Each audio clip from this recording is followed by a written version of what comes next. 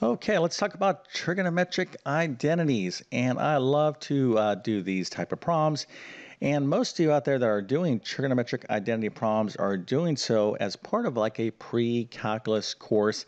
That's the typical course that has trigonometry in it. So, of course, trigonometric identities has something to do with trigonometry, and actually uh, it does, okay? And if you're going to be taking a course like pre-calculus, uh, something like uh, in a course to get you ready to take calculus, you're going to have to be able to handle uh, trigonometric identities and a ton of other stuff as well. But uh, what is an identity? Well, an identity, all right, let's just answer this question real quick, is basically a formula, all right? It's just a formula and what we're saying is that this is equal to that. We're making an equivalency. So a fancy word for that is an identity. And of course, we're, we um, are dealing with trigonometric functions. So this is going to be called a trigonometric identity. But the problem that we're going to be doing here is we're going to verify this. So saying, okay, this is equal to that. Okay, fine. Why don't you verify, prove it to me that this right here is in fact equal to that. Go ahead and verify it. And this is the typical type of problems that a lot of you out there probably don't like doing. So when you heard me saying, I love to do trigonometric identity problems, a lot of you might have been like, you know, mad or like, okay, Mr. YouTube, math man, enough with your excitement about mathematics. Just teach me how to do trigonometric identities in a super easy way.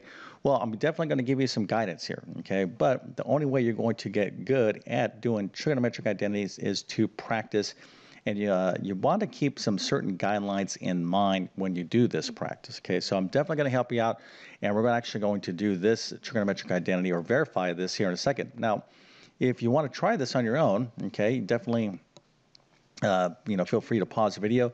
You could um, do uh, your work. You can have different steps and still get the right answer. So there's not just one way to do these particular problems, but uh, of course, uh, you know, whatever you do, uh, your teacher will, you know, be grading it whether it is right or wrong. So we'll talk about all this. And if this video helps you out, please consider liking and subscribing as that helps me out. Okay, so let's get into trigonometric identities, and we're just going to stick with this problem here. But uh, the first thing we want to talk about is just some general guidelines to do a trigonometric identity problem. And if you have a good teacher, a good pre-calculus teacher or trigonometry teacher, I'm pretty certain that they uh, kind of gave you these guidelines and some other ones as well. So I'm kind of abbreviating and I'm kind of just putting down some big picture points that you want to be thinking about when you do a trigonometric identity problem. So the first is you need to know all these fundamental trigonometric identities. So when you start studying trigonometric identities, you're going to be uh, given a ton of identities and all those identities there are called the fundamental trigonometric identities. Then you get into like specialized ones like double angle, half angle. Those aren't the fundamental trigonometric identities. You're going to need to know all the basic identities, and there are a lot. So you make sure that you have good and accurate notes. Okay, don't try to uh, memorize all these by, you know, uh, rote memorization. Now, some of these you're going to have to remember, like on tests and quizzes. Others, just write them down, okay, reference your notes until you can remember them, okay? So, and there's going to be quite a few of them. So make sure you have a list of all these fundamental identities. The second thing is you need to be strong in algebra, okay? Well, if you're taking pre-calculus, hopefully you didn't pass like algebra 2 with like a C plus, okay? Because all those previous courses, your algebra skills, your all those weak things are going to start, you know, coming into play. Uh, so yes, you do use algebra, you know, in pre-calculus and working with trigonometric identities. So if you're struggling with a lot of the ways things are being manipulated, you may need to go back and do some uh, review and brush up your algebra skills. Okay, the next thing is you want to work on one side. Now, what am I talking about there? Let's go up here, and here we have two sides of an identity. We have the left side and the right hand side. But you really want uh, want to think of this as the more complicated side and like the more uh, basic side, right, or the easy side. So this is the more complicated side. This is the easy side. So pick a side and almost always, you're going to pick the more complicated side and you're going to want to work with this expression to make it turn into this expression. In other words, we're going to, we're going to manipulate this side of the identity. We're going to do all sorts of things, use fundamental identities, algebra techniques to uh, get it to um, look like sine uh, theta. Okay, so that's kind of the objective of verifying. So that's what that means right there. And then another good tip is to use sine and cosine. So turn everything into sine and cosine. That's also a very good tip. That, now this is these are general uh, uh, kind of concepts. I would say working on one side, the complicated side, this is almost always you, you want to do that. And you definitely need to know those fundamental identities and you definitely need to be strong in algebra. And more often than not, when you turn everything into sine and cosine, uh, that works out well. And then there's a whole bunch of other little uh, small techniques. But again, the only way you're going to get good at this is by practice, practice, practice. So let's get into this problem. And I'm just going to show you my work. Okay, if you're at this level of mathematics, uh, and uh, you know you have your fundamental identities, um, they're available to you. You can kind of follow along, but I will um, uh, you know, talk this, talk each step of the problem here, uh, my solution out. Okay, so first things first, let me go ahead and just concentrate on the numerator. So again, remember I told you it's nice to work in sine and cosine. So I have a sine here, but I have a tangent theta here. So let's change tangent uh, to sine over cosine. So if you didn't know, tangent is equal to sine over cosine. That is a real, real basic uh, fundamental identity, and hopefully you know that. So let's go ahead and rewrite the numerator this way. And notice I have brackets here. I'm going to put that sine theta over 1 plus, and I'm putting it over 1 because I'm going to rewrite that tan tangent, tangent theta, as sine theta over cosine theta. So tangent is equal to sine over cosine. And uh, this little symbol there is the theta symbol. It could be x, it could be y, doesn't make a difference. But because I have a fraction here, I'm just putting that over 1, and we'll get back to that in a second. All right, let's talk about the numerator. So here I have 1 plus secant theta. Well, uh, again, a great technique is to put everything into sine and cosine. So secant is uh, equal to 1 over the cosine, okay? So I have 1 plus 1 over 1 over cosine theta, and notice I have my brackets here. And what's the objective? Well, my objective is to simplify all of this so eventually I have it down uh, equal to a sine. Okay, just one sine theta. All right, so let's continue on. All right, so here uh, we have uh, a numerator and uh, a denominator. This is actually a complex fraction. So we're going to have to clean this up, both the numerator and denominator, and this is where your algebra skills come in handy. Okay, so let's go ahead and do that now. So here is where we left off.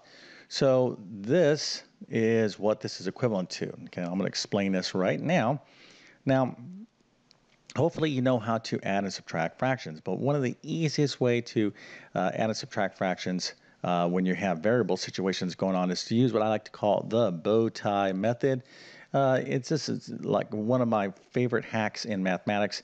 If you want to review this, um, I have a video, uh, I have multiple videos on fractions on my YouTube channel, but one of my most popular videos has well over a million views, is uh, Best Fraction Hack Ever, I think is the name of it. But it explains this method of adding and subtracting fractions. Now, you hopefully know how to add these fractions, I'm sure you do, but let's just review how I'm going to do it. So, you, the way it is, or the way you do it, is start from the bottom right. Okay, so here, this bottom right uh, this denominator, you go this this times this. So it's cosine theta times sine theta is what? Sine theta cosine theta. Okay, order doesn't make a difference. It could be cosine uh, times sine or sine times cosine. So it's this pattern specifically, this times this. Now I'm going to go 1 plus sine theta. All right, so I'm going this, I'm starting from this uh, arrow or this direction first. That's step one. Step two is this way, and step three is going to be this. So that's going to be 1 plus um, sine theta. So 1 times sine theta is sine theta. And because this is an addition problem, I'm going to put addition there, and this forms my numerator, okay?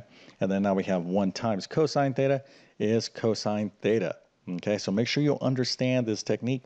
It's going to be, uh, it will really, really just make things go smoother for you um, and uh, more advanced mathematics. Okay, so now let's go ahead and do the denominator. So here I have a 1 plus 1 over cosine theta. Let's just put that over 1. Anytime you don't see a fraction, you can always put it over 1. So let's go ahead and do that same technique. So cosine theta times 1 is what? Cosine theta. 1 plus 1, okay, or 1 times 1, excuse me, is 1. And now this is an addition problem, so this forms my uh, numerator, and then 1 times cosine theta is cosine theta.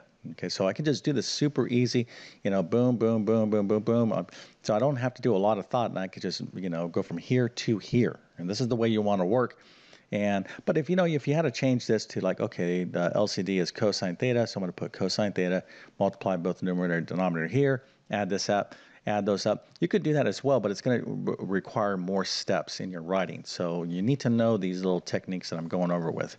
Okay, so now let's take a look at what we're dealing with at this point. Well, what we have is a complex fraction, a fraction uh, divided by another fraction. So we have this whole fraction being divided by this whole fraction down here. That's why having these grouping symbols, these brackets and stuff are so important. So what we're going to do is rewrite this.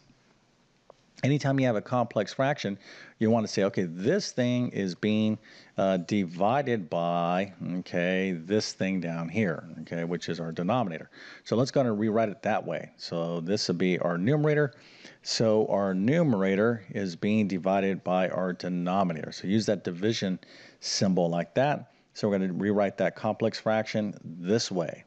And so now we just go ahead and use our knowledge of fractions. Fractions keep coming up over and over again. That's why it's so critical you know how to um, you know deal with fractions you know perfectly easily. So what, uh, how do we divide fractions? Well, we turn it into a multiplication problem and we flip this fraction, find the reciprocal of it, right? Uh, the, uh, of the fraction to the right of the division symbol. Okay, so we're going to turn this into multiplication and flip this thing upside down. So we're going to have cosine theta. So this was our denominator. Now it becomes our numerator over cosine theta plus 1. Okay.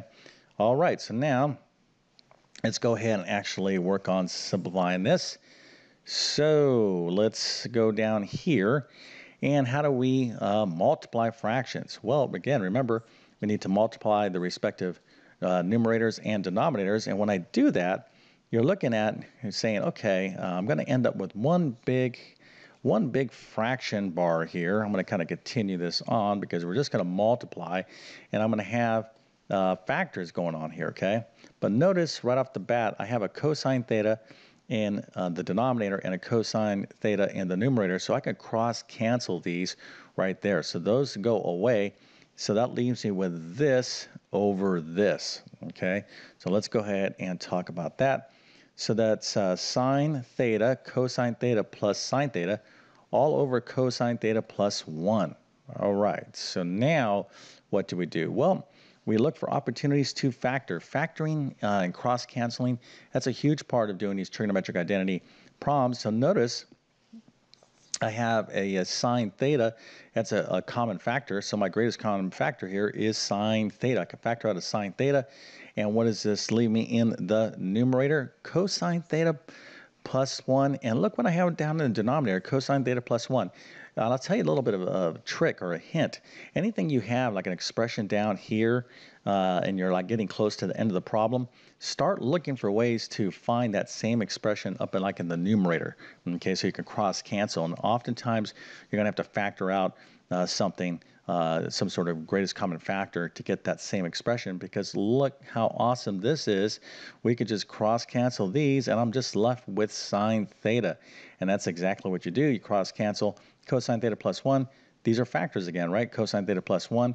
And that leaves me with sine theta. And there you go. That whole thing we had initially in the left-hand side uh, is equivalent to sine theta. We just verified it, okay?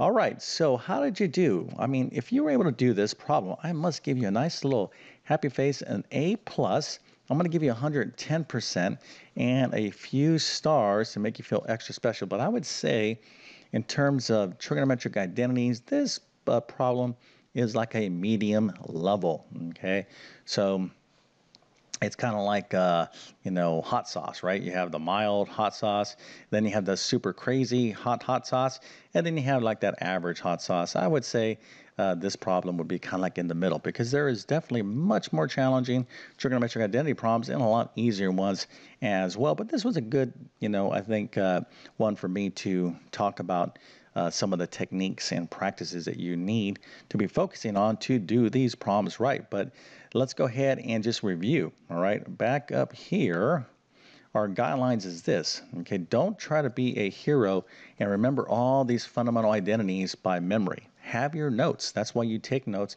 And make sure your notes are correct by the way too. And double check that you wrote down these identities cor- uh, correctly and then your algebra skills like what i was showing you how to add fractions and whatnot make sure you strengthen those skills okay uh, just again just because you are in pre-calculus for example and you took algebra 2 but if you didn't really do as well as you could have done, well, then you're probably, you know, uh, need to review. And a course like pre-calculus is rigorous, okay? So any weak areas is going to come out. Just go back and address those, improve in that, and it'll make everything go better. Uh, work on that complicated side, get it to look like the easier side. And typically, working with sine, uh, turning everything into sine and cosine is a great technique. There are other techniques. And if you want to see more trigonometric identities solved, well, I'm going to leave a link to my pre-calculus course in the description of this video along with my math help program. But you got to get good at these, okay? And it's a big part of uh, what you learn in trigonometry that is uh, typically within a pre-calculus course. Well, it's not typically. If you're taking pre-calculus, you're definitely uh, taking trigonometry. But uh, hopefully this video helps you out. If that's the case, don't forget to like and subscribe. And with that being said, I definitely wish you all the best in your mathematics adventures. Thank you for your time and have a great day.